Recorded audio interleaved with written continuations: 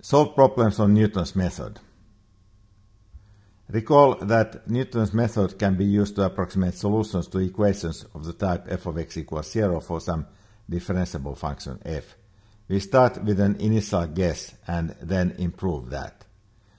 So here our initial guess x0 is a negative number. To improve that approximation for the solution, we go up to the graph of f to the point x0, f at x0, and we draw the line tangent to the graph of f at that point. This tangent line, the red line, intersects x-axis at the point x1, which is our next approximation of the solution. This is clearly a better approximation than what x0 was. We may repeat this. Starting from the point x1 on the x-axis, we go up to the point on the graph of f to the point x1, f at x1, and we draw the corresponding line tangent to the graph of f at that point.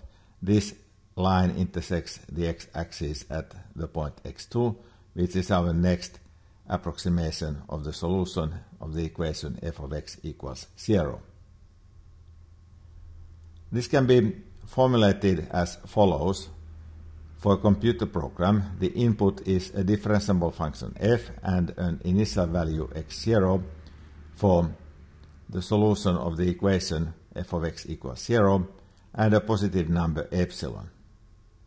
The role of this positive number epsilon is to tell us when we should stop the iteration. Iteration step is the following. Starting with the function small case f, we form the function capital case f, which takes the value x minus f at x divided by f prime at x at the point x.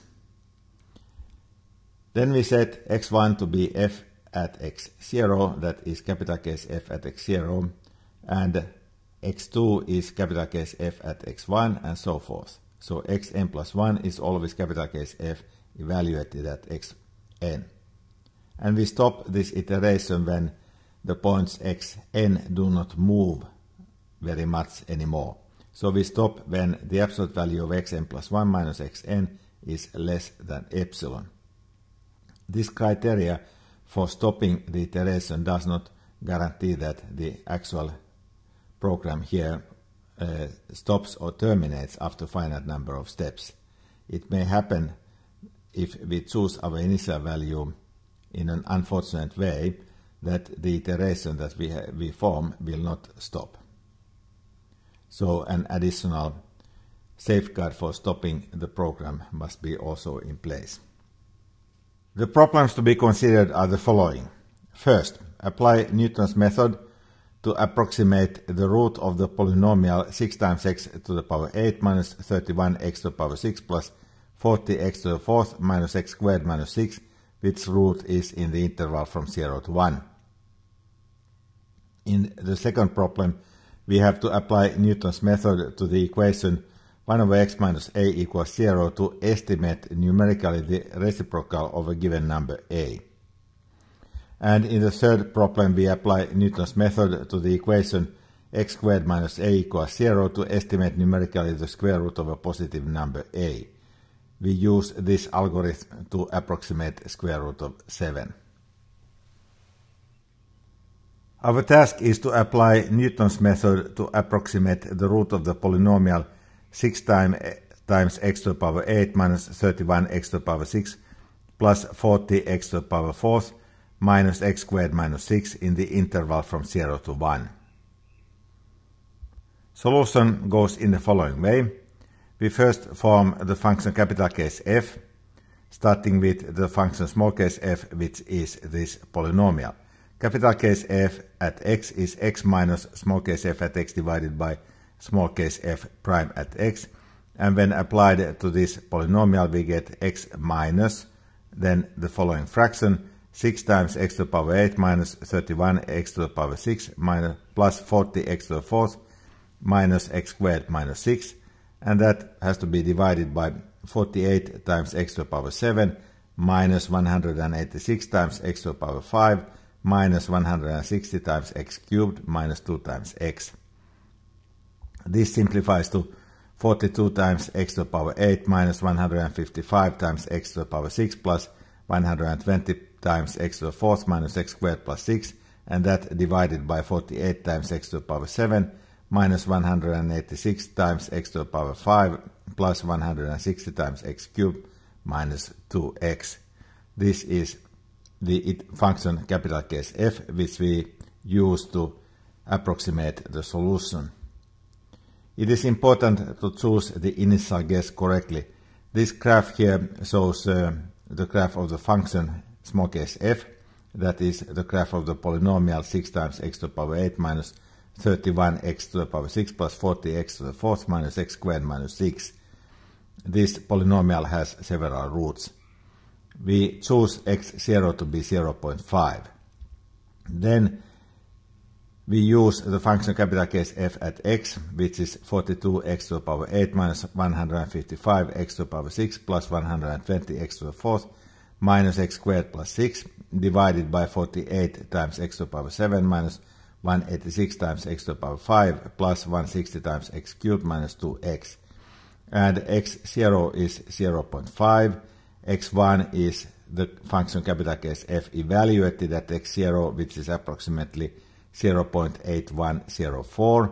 x2 is capital case f evaluated at x1, and that yields approximately 0.7112, and x3 is then 0.7071.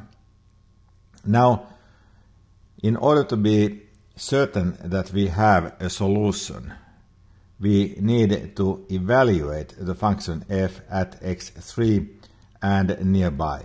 So we evaluate the function f at the point x3, which is 0.7071, and we get minus 0.0002, a negative number.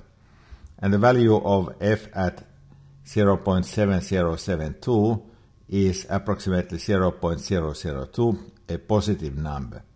Therefore, we conclude since the function small case f, the polynomial, is a continuous function, that it actually does have a root between 0.7071 and 0.7072.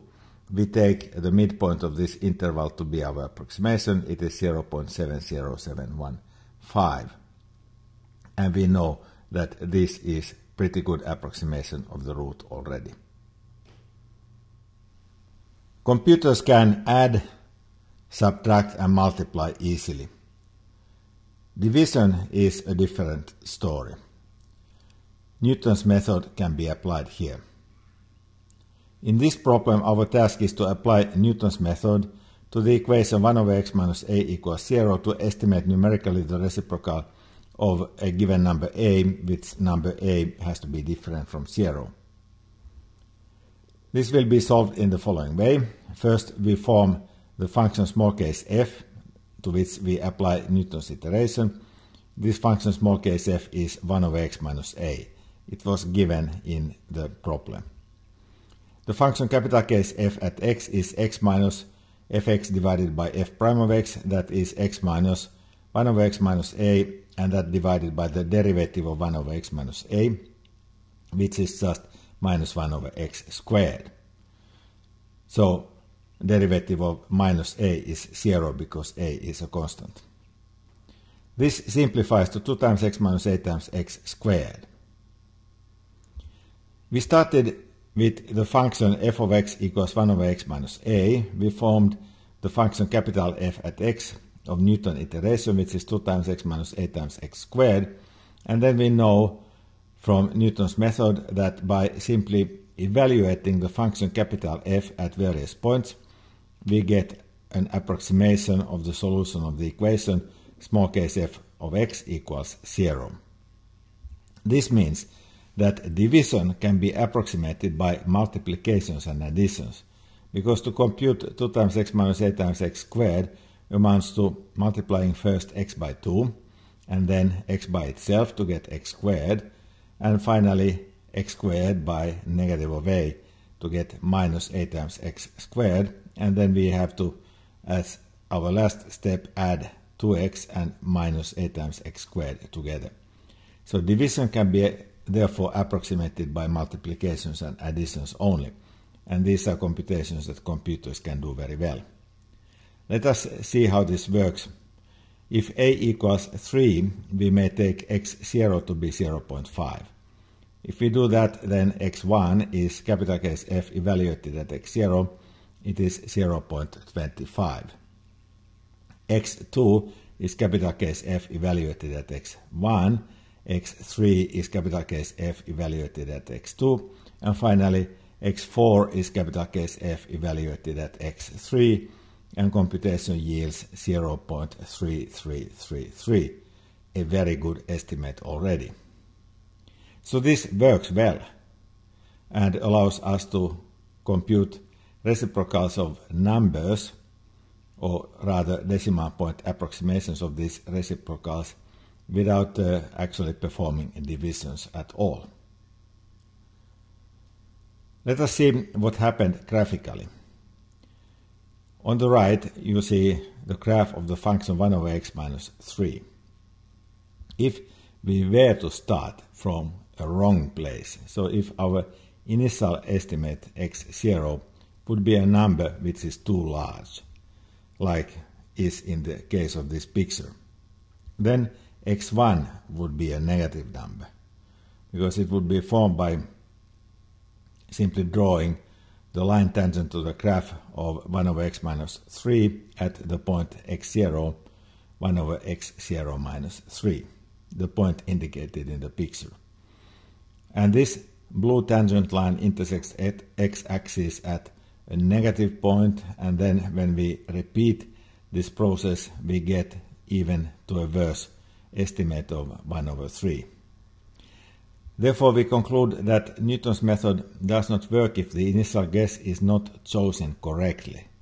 But if it is chosen correctly, as we did, then Newton's method yields very quickly a good approximation of the solution.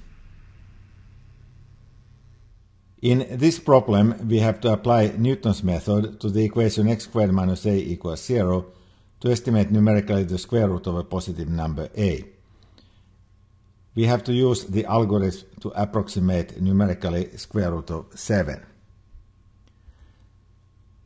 We solve this using Newton's method and we apply that to the function f of x equals x squared minus a.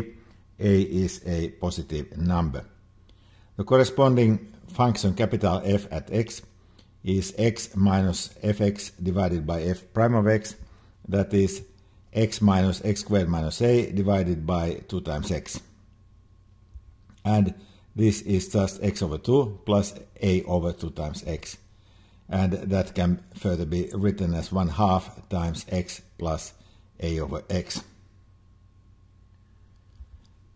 So here we have the function small case f at x, x squared minus a, and the corresponding function capital F at x equals 1 half x plus a over x. If a is 7, then we start with the initial guess x0, 7. x1 is approximately 2.654. This is the function capital F evaluated at x0. And x2 is uh, capital F evaluated at x1. That is approximately 2.646. And then x2 is already a correct approximation. The method to approximate the square root of a positive number a numerically by iterating the function capital F of x equals 1 half x plus a over x was invented already by the Babylonians long time ago. They did not know of differential calculus. It may be that their reasoning was the following. Consider the function capital F as defined before and the equation capital F at x equals x. Now, when we iterate the function capital F at points x0, x1, capital F at x0, x2, capital F at x1, and so forth, then we get numbers which approach a solution to the equation capital F at x equals x. This follows since the function capital F is a continuous function. Now the equation capital F at x equals x is simply x equals 1 half times x plus a over x. and this becomes 2 times x equals x plus a over x. Multiplying by x, we get 2 times x squared equals x squared plus a. Move the additional x squared from the right hand side to the left hand side to obtain that x squared equals a. And therefore, by iterating this function capital F, we find a solution to the equation capital F of x equals x, and that solution satisfies x squared equals a. So that is a square root of this number a. Here in this picture you see a Babylonian clay tablet. The diagonal displays an approximation of square root of 2. These Babylonian clay tablets seem to suggest that Babylonians not only were able to approximate square roots of numbers, but they also most likely were, aware of the theorem of Pythagoras long before Pythagoras. This picture is um, from the Yale Babylonian collection. The photograph is by Bill Casselman.